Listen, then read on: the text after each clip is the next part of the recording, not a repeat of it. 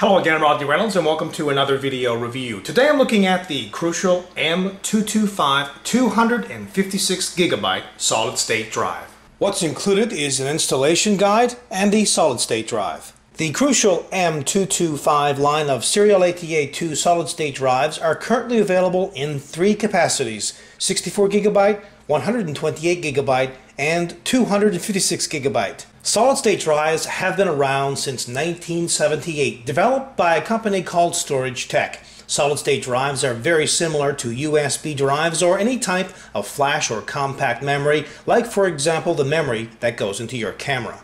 Solid state drives have several advantages over standard hard drives because they have faster access times, lower temperature, are much more reliable because they have no moving parts, are tougher, and silent. They are also lightweight have a much smaller footprint and consume less power than standard hard drives, but solid state drives do have their disadvantages. They are very expensive. Capacities are still relatively low, currently between 16 gigabytes and 256 gigabytes, but of course, higher capacity solid state drives are on the way.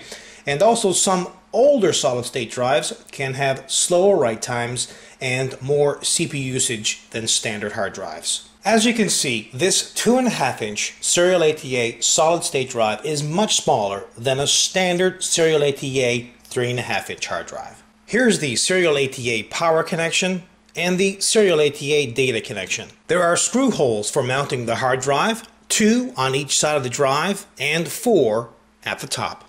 Information about the drive like the model number, the capacity, as well as the serial number is at the top.